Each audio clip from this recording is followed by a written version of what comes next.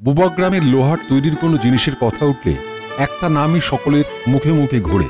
সে হলো যতীন কামা অমন নিখুঁত কোদাল, শাবল, এমনকি ছুরি, কাঁচিও গ্রামের আর কেউ বানাতে পারে আশেপাশের গ্রামেও তার নাম ডাক কম নয়।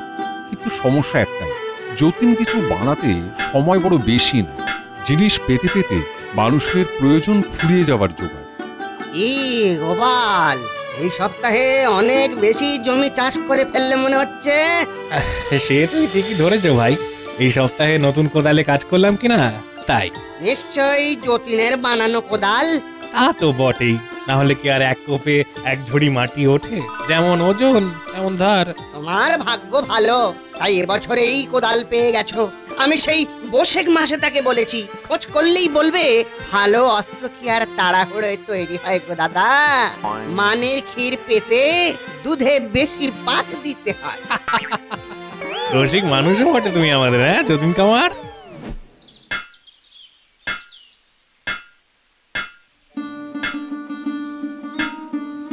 সত্যি তুমি মানুষ বটে। একটা জিনিস বানাতে এত সময় নাও যে মানুষের দরকার ফুরিয়ে যায়। ও বুঝবে না গিন্নি সূক্ষ্ম কাজে সময় একটু বেশি লাগে। হুম আমার আর বুঝে কাজ নেই। সুখ্যাতে দিয়ে না পেট ভরে না। আমি অন্তত এটা বুঝেছি। ঘরে চাল বাড়ন তো কি খাবে এবার ভেবে রেখো ওহো আচ্ছা দেখি ওই রাকৌরির কাস্তে কটা যদি আজ দিয়ে দিতে পারি তো আজ বিকেলে কিছু টাকা পাবো। বুঝি না বাপ লাঙ্গল কোদালে ধারের একটু কম বেশি হলে কি এমন মহাভারত অশুদ্ধ হয়? বেনি কাকা গদাই বলরাম সবাই তো দিব্যি করে খাচ্ছে। বাবা বলতেন, যতীন, ব্যবসা হলো লক্ষ্মী, সেখানে সততাই মূলধন, বুঝলে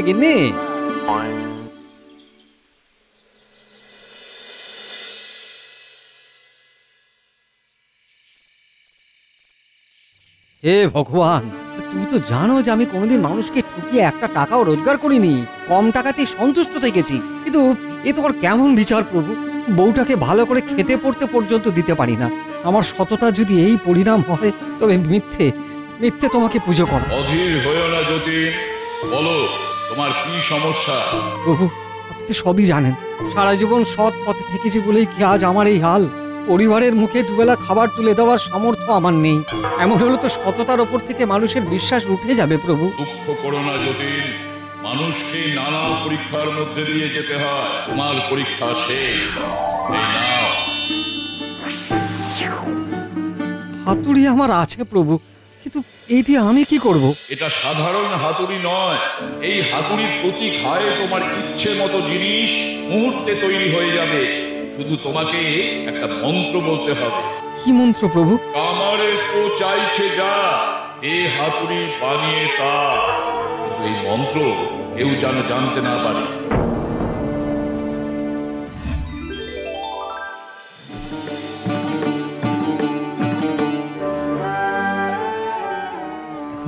এখানে কেউ নেই। প্রভুর দেওয়া হাতুড়িটা পরীক্ষা করে দেখার এটাই সুযোগ। কিন্তু সত্যি কি এমন হতে পারে? নাকি আমি স্বপ্ন দেখছি? একবার মন্ত্রটা বলেই দেখি। আমারের পো চাইছে যা। দে হাতুড়ি বানিয়ে তা। কাস্তে। কি? মন্ত্র তো সত্যি সত্যি কাজ করেছে। নিচের চোখে বিশ্বাস হচ্ছে না। আর আরেকবার দেখব দেখি না কি হয়। আমারের পো চাইছে যা। দে হাতুড়ি বানিয়ে তা। কোদাল। কি ধন্য প্রভু। মুহূর্তের মধ্যে কাস্তে কোদাল তৈরি হচ্ছে। আর কোনো মানেও সেরা। আর এরপর থেকে জ্যোতিরের দারিদ্র ঘুচে গিয়ে তারা ক্রমশ ধনী হয়ে উঠল। কুড়িঘর থেকে দালান বাড়ি ছোট কামারশালার জায়গায় তৈরি হলো লোয়ার জিনিস তৈরির কারখানা। অলোকা এখন তার বাড়িতে দুবেলা কাঙালি ভোজন করা এসব দেখে হিংসায় জ্বলতে লাগল গ্রামের অন্য কামারেরা আশ্চর্যের ব্যাপার। যে যতীনের বাড়িতে দুবেলা হাঁড়ি চড়তো না সে কিনা এখন দুবেলা কাঙালিদের ভোজ খাওয়াচ্ছে। কি তাই? ছিল এক চিলতে কামার চালা সেখানে একটা রীতিমতো কারখানা খুলে বসে। আর সেই চক্করে আমাদের ব্যবসা লাটে ওঠার জোগাড়। আরে আমাদেরও তো ব্যবসা করে খেতে হবে নাকি? এতকাল সকলের চলে যাচ্ছিল আমাদের তৈরি করা জিনিসেই। যতীনকে তো এই বসেকে কুড়ুল বানাতে দিলে পরের বসেকে গাছ কাটতে হতো। এর পেছনে নির্যশ কোনো রহস্য আছে। এই তো আমাদের জানতে হবে রে গদাই। একা মানুষ এত অল্প সময় একটা মাত্র হাতুড়ি দিয়ে এত জিনিস বানাচ্ছে কি করে? বেশ তো সেই কাজটা না হয় তুমিই করো বলরাম। পরের দিন রাত্রে বলরাম হানা দিল যতীনের বাড়িতে। চুপি চুপি গিয়ে আড়ি পাতল যতীনের বাড়ির জানলা। যতীন তখন সবে বাক্স থেকে জাদু হাতুড়ি বের করেছে লাঙল বানাবে বলে। কি হলো? এত রাতে তুমি আবার হাতুড়ি নিয়ে বসেছো? কাজ তো আমি এখন রাত্রেই করি গিন্নি। কিন্তু তোমাকে না আমি বলেছি আমি যখন কাজে বসবো তখন এ ঘরে কারও থাকা চলবে না। বলেছ? আজ এখনও তোমার খাওয়া হয়নি তাই ডাকতে এসেছিলাম। কিন্তু একটা কথা না আমারও জানতে খুব ইচ্ছে করে। কি কথা? আমি তো তোমার বউ। তুমি এমন কি কাজ করো যা তুমি আমার সামনেও করতে পারো না? তোমার জন্যই আমি এত কিছু করি গিন্নি। কিছুই লুকোতে চাই না তোমাকে। কিন্তু প্রভুর বারণ আছে যে। কি? আমাকে বলা বারণ? তোমাকে বলতেই হবে। আমার মাথার টিপ্পি রইল তোমাকে বলতেই হবে। এ কি? এ তুমি কি বললে গিন্নি? এবারে তো আমাকে সব বলতেই হবে। কারণ পৃথিবীতে তোমার থেকে আমার প্রিয় তো আর কেউ নেই। তবে বলো আমি কাউকে সে কথা বলব না।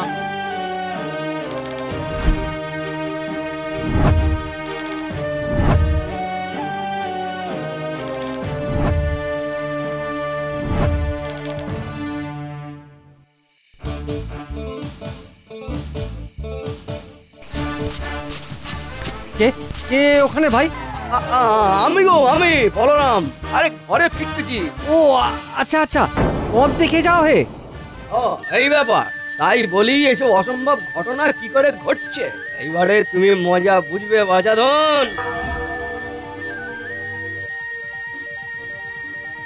রাতের অন্ধকারে বলরাম আসে যতীনের বাড়ি। বলরাম চুপি চুপি ঘরের ভেতরে ঢোকে। যতীনের হাতুড়ির সঙ্গে বদলে নিয়ে ঈশ্বরে পালিয়ে যান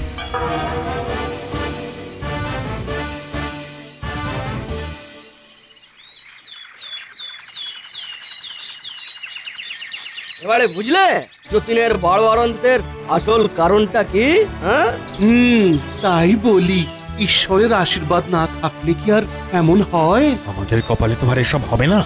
যা বলেছিস। ঠাকুরকে তো আমিও রোজ ডাকি ঘটা করে পুজোও দিই। কই আমাদের তো তিনি দেখা দেন না। ঠাকুরকে ডাকলেই কি আর হবে কাকা? নিজের মাথাও তো খাটাতে হবে। যাকে বলে কেটে খাওয়া। এই এই, কি হেয়ালি করছ বলো দেখি। হুম এখানে আবার মাথা খাটাবো কীভাবে? দাঁড়া দাঁড়া একটা জিনিস দেখাই তো। ও হাতুড়ি তো আমাদের সবার ঘরেই আছে বলরাম। এই হাতুড়ি আমার ঘরে নেই কো। এ হলো যতীনের সেই জাদু হাতুড়ি। সে কি গো? তুমি পেলে কি করে? কেন? রাত্রে লুকিয়ে যতীনের ঘরে ঢুকে বদলে আনলাম। এবারে আমরা যা চাইব এই হাতুড়ি আমাদের তাই দেবে। তবে তো আমারই এটা পাওয়ার কথা। থামো থামো। এই হাতুড়ি আমি এনেছি সুতরাং আমি আগে নেব। হ্যাঁ। হুম পেয়েছিস আবার কি? বল যে চুরি করেছিস। হ্যাঁ, আর চুরির জিনিসে কারও অধিকার হয় না। আমি নেব আমি নেব নেবই নেব।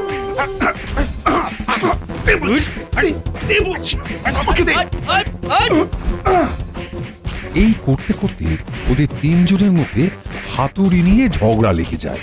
তারপর হাতাহাতি মারামারি প্রচণ্ড ধস্তাধস্তির ফলে তিনজনই আহত হয়ে অজ্ঞান হয়ে যায়। হাতুড়িটা দূরে ছিটকে পড়ে যায়। আশ্চর্যের ব্যাপার? এই জাদু হাতুড়ির কথা কেউ তো জানতো না। তবে চুরি করল কে? আর মন্ত্র না জানলে ওটা নিয়েই বা কি হবে? আচ্ছা বলরাম কাল অত রাতে ঘরের বাইরে কি করছিল? তবে ওই কি চুরি করল সেটা?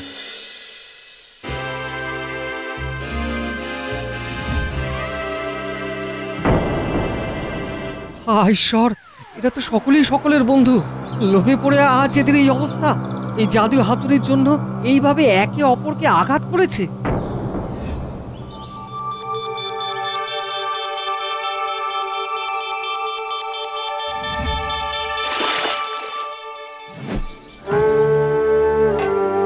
হে প্রভু, আমাকে ক্ষমা করুন যে জিনিসের জন্য মানুষ অমানুষের মতো আচরণ করে, বন্ধুরা বন্ধুকে হিংসা করে, তাদের আঘাত করে, তেমন আশীর্বাদ আমি চাই না। অর্থ কম হলে ক্ষতি নেই। কিন্তু শান্তি আর ভালোবাসাই মানুষকে বাঁচিয়ে রাখে। তোমার মতন সুন্দর মনের মানুষের কোনো বিশেষ ক্ষমতার প্রয়োজন নেই যতীন তোমার কর্মফলেই তুমি এখন থেকে সুখী জীবন কাটাতে পারবে। এই আশীর্বাদ করছি।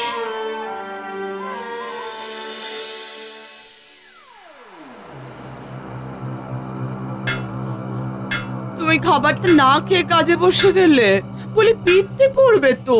কি করি বলো গিন্নি? অনেকগুলো কাজের ফরমাইশ রয়েছে। আর রোজগার না বাড়ালে তোমাকেই বা ভালোভাবে রাখব কি করে? না গো, না। এখন থেকে তুমি আমাকে যেমন রাখবে, আমি তাতেই খুশি থাকব। তবে একটু তাড়াতাড়ি করো। বাইরে অনেক মানুষ বসে আছে কিনা?